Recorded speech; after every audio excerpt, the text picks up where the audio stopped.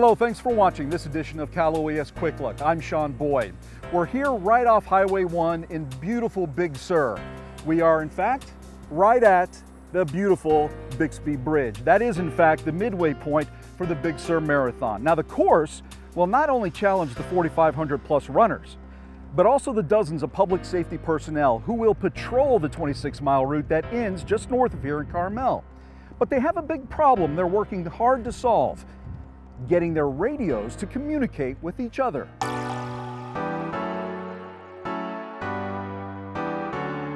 The ragged edge of the Western world. Its breathtaking beauty attracts tourists, artists, romantics, and for the last 32 years, Highway 1 has also attracted runners for the Big Sur International Marathon. The race route is a challenge for runners. They'll wind along the coast and climb from a low of 64 feet to a height of 560 feet above sea level. The problem with radio communications along the route is the topography. Unlike the runners, two-way radio signals cannot make it up and over the hills and around the cliffs. So, Cal OES Public Safety Communications comes to the rescue, installing one, two, three, four, five temporary towers called repeaters. Those strategically placed repeaters take the radio signals, send them to each other, and to the first responders' radios. CHP has radio problems here, CAL FIRE has radio problems here, and what we're doing is we're enhancing that 30 mile stretch, bringing it all back to this command post so we have as close to seamless communications as we can achieve. Cell phone coverage is also terrible. Now imagine there's a health emergency during the race, or worse like what happened during the Boston Marathon in 2013. It just showed that there was weak spot. That bombing is why this operation, with its unified command, was implemented five years ago. So that if an incident occurs, we can be fast response rather than being somewhere that it takes us a lag time to get here in traffic and what have you, is we're already set up and ready to go so we can just go right to business.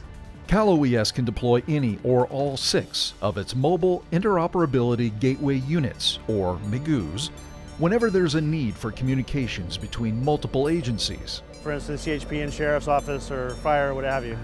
Cal OES Tactical Communications set up its incident command post about two blocks from the finish line.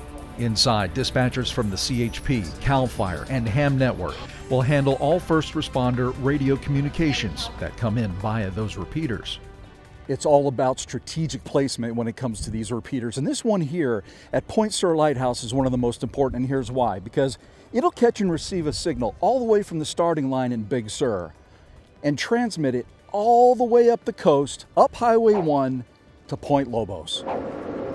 With less than 24 hours till the starting gun, technicians drive the course, testing each repeater along the way. Uh, are you copying me 10-2 or am I breaking up to you?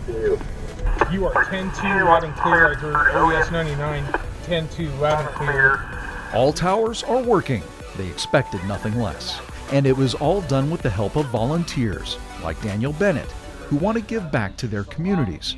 But also allow us to get some knowledge and to use these experiences in our day to day lives. Runners reach the finish line, worn but smiling, and celebrate individual achievements. Little did they know, so many dedicated professionals were watching their backs and later celebrated their own achievement. So if you'd like more information on public safety communications and just how these wonderful people keep the communications going back and forth throughout the beautiful state of California, all you got to do is go to oesnews.com and caloes.ca.gov and search PSC for everyone here in beautiful Big Sur and back there at headquarters in Mather, California. I'm Sean Boyd. Thanks for watching. Visit our online newsroom at oesnews.com to learn more about this program and get the latest news and information from our team. Don't miss our next video on your Facebook timeline. Like our page and you'll get the latest posts as they happen. If you're an Instagram user, you can see the latest snapshots by following our Cal OES Instagram account. And Twitter users can get instant access to our tweets from across the state by following Cal OES.